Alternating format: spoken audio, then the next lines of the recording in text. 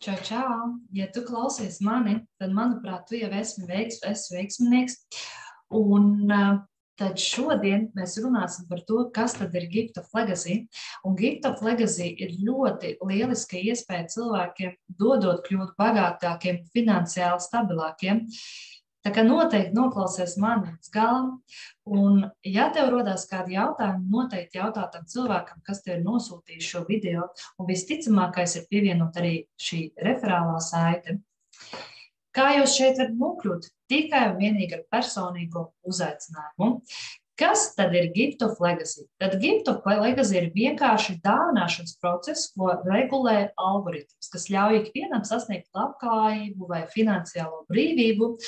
Un tā iemāca cilvēkus dzīvot labāk, dzīvot veiksmīgāk, dzīvot stabilāk, un šeit ir vērts būt ikvienam.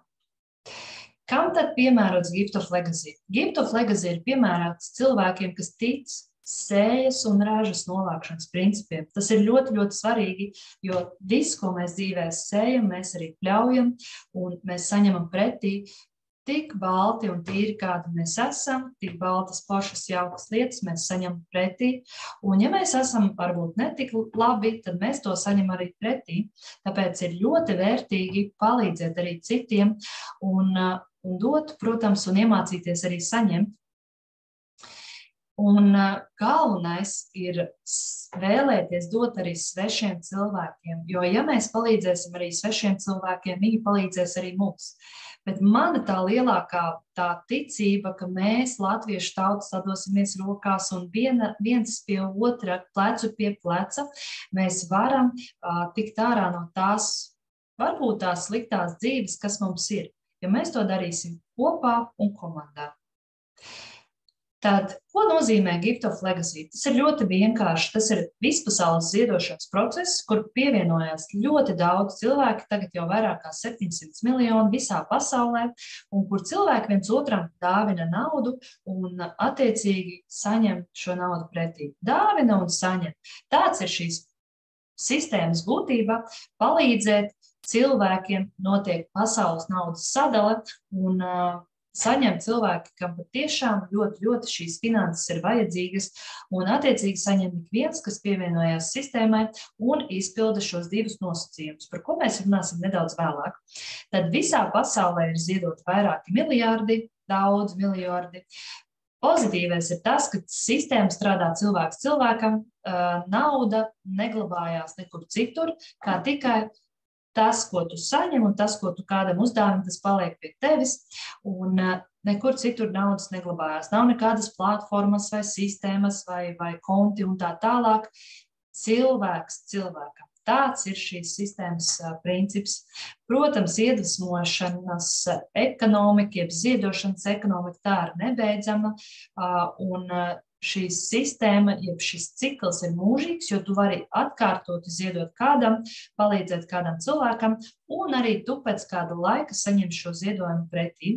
Tad Gift of Legacy noteikti ir vairāk nekā tikai dāvināšanas process, jo mēs viens otram palīdzam augt un uh, saņemam atbalstu grūtos brīžos, iedrošinam viens otru, mācāmies, attīstāmies kopā, dalāmies šajās sajūtās, mīlestībā un, protams, strādājam kā komanda, plecu pie pleca un palīdzam uh, attīstīties arī tālāk. Tad jautājums, kā tad visu šo procesu sākt? Tas ir ļoti vienkārši. Jums vajag tikai 100 dolārus, un jums vajag uzaicināt divus cilvēkus, kas arī labprāt pievienosies šim dāvināšanas procesam, un, protams, arī saņems ar laiku šo, šo, šo dāvanu arī atpakaļ. Tad tikai vienīgi 100 dolāri un divi cilvēki, lai jūs varētu saņemt un kļūt, kā saka, ziedot un kļūt bagāti. Un tā ir vienīgā reize, kad jūs no savas kabatas izņemsiet šo 100 dolārus. Tad jūs varat uh, izmantot, protams, četrus līmeņus. Visi sāk ar pirmo dāvināšanas līmeni, kas ir 100 dolāri. Respektīvi, jūs ziedojat 100 dolārus, un jūs šo dāvināšanas procesu pabeigsiet ar 800 dolāriem. Tāds ir šīs, šis algoritma princips. Tātad katrs ienāk ar 100 dolāriem, un katrs cilvēks iziet ar 800 dolāriem.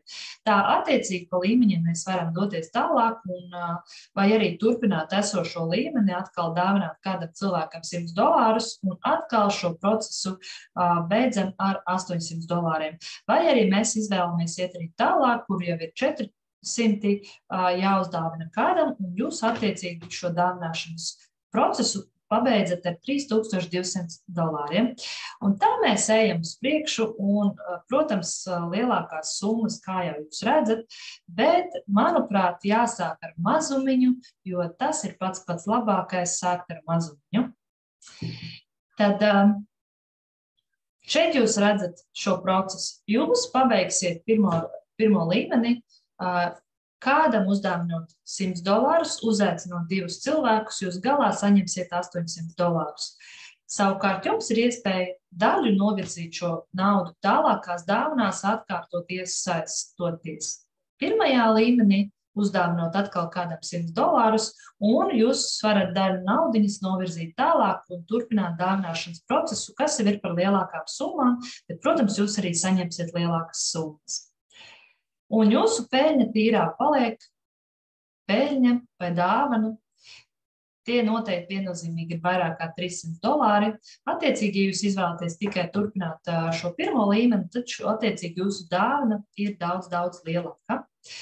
Kādi tad ir noteikumi? Ļoti vienkārši, manuprāt, vienkāršākie noteikumi, kādi ir redzēti. Tad pirmais līmenis jums ir noteikums tāds, jums ir jāstarta ar 100 dolāriem un jums ir jāuzaicina tikai divi cilvēki. 100 dolāri un divi cilvēki. Un otrajā līmenī jums, jūs varat atkārtot pievienoties, otro reizi startēt šajā pirmajā līmenī, bet jums vairs nav cilvēku jāiz, jāuzaicina. Jūs atkārtot tālāk varēsiet turpināt šo dāvināšanas procesu, neaicinot nevienu cilvēku. Tad pirmo reizi startējot, jums vajag 100 dolārus un divus cilvēkus, bet jau otrajā reizē turpinot šo dāvināšanas procesu, jums vajadzēs tikai uzdāvināt kādam 100 dolārus. Bet šie divi cilvēki pievienosies paši pēc algoritma aprēķiniem. Tad kādēļ tieši Gift of Legacy? Tāpēc, ka tas ir ļoti daudz uh, draudzīgs interfejs, ļoti laba sistēma, viss labi izstrādāts, viss ir ļoti droši tas ir ļoti inovatīvs algoritms, kas aprēķina sistēmu, aprēķina visu, kā kam ir jānotiek. Un, ja tu esi izpildījis savus divus noteikumus, tad tā ir, tā, tas ir tavs ceļš, tavs sākums uz tavu pirmo 800 dolāru dāvinājumu. Protams, tā ir tiešā komunikācija, ļoti vienkārši noteikumi. Kā jau es teicu, tie ir tikai divi jūsu dāvinājums un divi cilvēki. Klonēšanas uh, princips uh, mums ir arī sestdienās apmācības, kur jūs noteikti varat pievienoties un uzzināt vairāk. Tur arī ir šie trendiņi, un tas ir ļoti ātrs veids attīstībai. Un, protams, ir šis atbalsta bots, kuru jautājums var uzdot neskaidrību gadījumā. Kā jau jūs redzat, uz ekrāna ir uh, arī daudz dažādas saņemtās dāvanas, kur citi ir saņēmuši 400 dolārus, cits ir 100 dolārus saņēmis. Uh, um, eiro valūtā. Jūs arī redzat to, ka patiešām šie dāvinājumi ir un viņi notiek, un cilvēki ļoti, ļoti, ļoti priecājās par saņemtajām dāvinām. Mēs, latvieši, kļūstam ar vien vairāk un vairāk, jo jūs pievienosieties jau latviešu kopienā. Mīļie, paldies par uzmanību!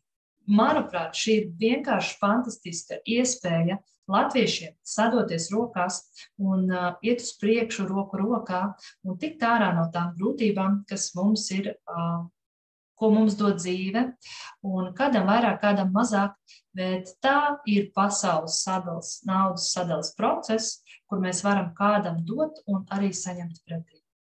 Lai jums visiem jauks vakars! Paldies! Paldies, ka uh, klausījies, tieši tu, ka man klausījies. Un, ja tev ir jautājumi, droši jautā tam cilvēkam, kas tev ir nosūtījis šo ierakstu.